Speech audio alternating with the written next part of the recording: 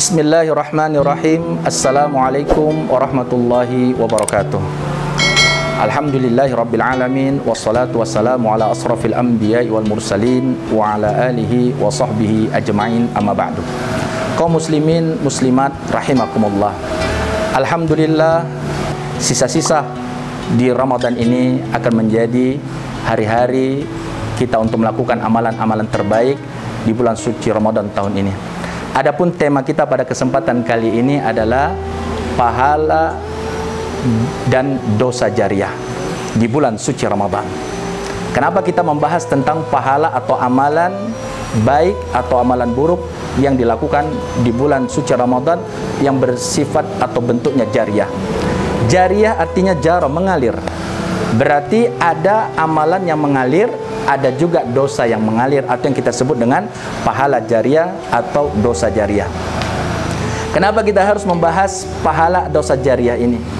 Karena selama ini kita lihat di masyarakat kita kajian-kajian agama selalu kita mendengar lebih sering kita mendengar berkaitan tentang pahala jariah atau amal jariah. Padahal di situ ada juga yang namanya dosa jariah pahala yang apabila kita lakukan maka dia akan mengalir terus kepada kita walaupun kita sudah berada di alam kubur sana. Itu pahala. Ada juga yang namanya dosa jariah. Dosanya kita lakukan di dunia maka dosanya pun akan mengalir kepada kita walaupun kita sudah berada di alam kubur sana. Ini yang perlu kita ketahui karena kita tidak ingin kita mati dalam keadaan dosa terus mengalir kepada kita. Sebagaimana yang dikatakan Imam Al-Ghazali di dalam kitabnya bahwa celaka bagi orang yang mati dosanya masih terus mengalir. Ini yang disebut dengan dosa jariah. Ada nggak dalil tentang dosa jariah? Kita lihat di dalam surah Yasin ayat ke-12. Allah Subhanahu wa taala berfirman, "A'udzu billahi minasyaitonir rajim. Bismillahirrahmanirrahim. Inna nahnu nuhyil mauta wa naktubu ma qaddamu wa atharahum." wa kulla syai'in ahsaynahu fi imami mubin. Ayat tersebut salah satu makna yang terkandung di dalam ayat tersebut adalah inna nahnu nuhil mauta sesungguhnya kami menghidupkan yang mati. Wa naktubu ma qaddamu kami mencatat apa-apa yang sudah mereka lakukan semasa hidup.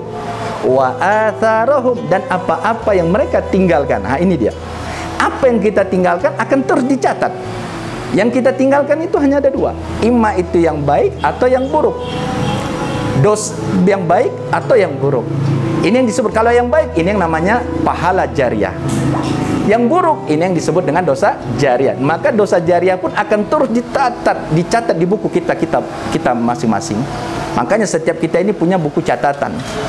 Dan dosa yang kita lakukan ya apabila kita lakukan yang berbentuk jariah maka kalau kita meninggal maka pahala dosanya akan terus mengalir kepada kita contohnya bagaimana apa sih contoh dari dosa jariah kalau pahala mudah seperti sodakotun jariah ilmu yang diamalkan dan diajarkan dan wawaladun soleh yada'ulah anak yang soleh mendoakan orang tua kita punya anak soleh dia mendoakan orang tua maka pahalanya akan mengalir dan doanya langsung dijawab oleh Allah ini berkaitan tentang pahala jariah. Ada juga yang namanya dosa jariah. Dosa jariah itu juga dampaknya kepada kita walaupun kita sudah berada di alam kubur sana. Apa contohnya? Contohnya kita meninggalkan anak dalam keadaan durhaka kepada Allah. Meninggalkan anak dalam keadaan durhaka kepada Allah ini juga bisa berdampak kepada buku catatan kita.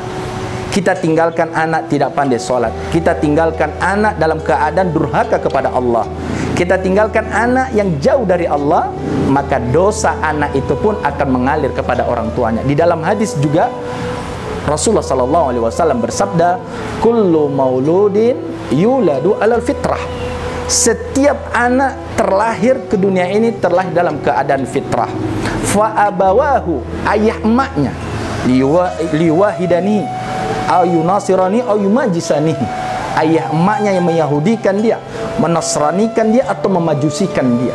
Maksudnya apa? Anak itu masuk sorga atau masuk neraka maka orang tua berperan terhadap anak tersebut. Anak itu masuk sorga maka orang tuanya akan bahagia. Tapi kalau anak itu masuk ke dalam nerakanya Allah maka orang tua pun akan mempertanggungjawabkan karena anak itu adalah titipan Allah. Anak itu adalah titipan Allah dan setiap titipan itu akan diminta pertanggungjawabannya. Latus alunna yauma idzin anin na'im. Setiap kenikmatan akan diminta pertanggungjawabannya. Kaum muslimin ya muslimat rahimakumullah. Itulah pentingnya kita mengetahui ada yang namanya pahala jariah, ada yang namanya dosa jariah. Dosa jariah yang apabila kita lakukan di bulan suci Ramadan, maka dosanya pun akan berlipat ganda. Tidak sama dosanya seperti kita lakukan dosa di luar Ramadan. Kalaulah pahala ada yang mengalir, masa dosa tidak ada yang mengalir? Maka inilah yang harus kita ketahui.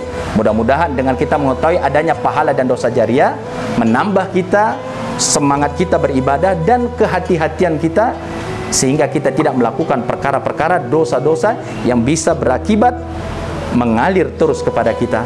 Mudah-mudahan dengan kita meninggal dalam keadaan husnul khatimah, dosa kita juga selesai tetapi kita juga berharap kita meninggal pahala akan mengalir kepada kita mungkin hanya ini yang dapat kami sampaikan. Mudah-mudahan bermanfaat.